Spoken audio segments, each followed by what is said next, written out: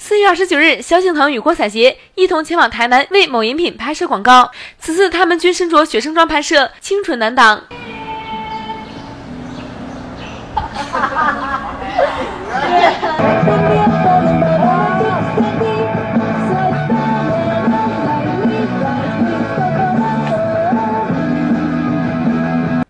对于此次的服饰，郭采洁透露，在填写高中志愿时，制服也在考虑范围内。她称制服好看，读书才会开心。萧敬腾则表示，读书时没有压力，很多时间都在玩耍。不过随后他说，也有认真读书。在选高中的志愿时候，有那个制服有在我的那个选项里面，制服一定要好看，念书才会开心。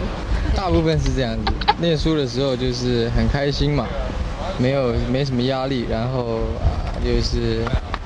啊，都在玩，但是也有读书。另外，谈及剧情，郭采洁笑言，一直都是自己在追萧敬腾，从去年追到今年还没有追到，还要继续追。不过，她自称是比较主动的女孩子，所以拍摄时并未感觉不自在。她其实，在剧情里面都没有追我，都是我在追她。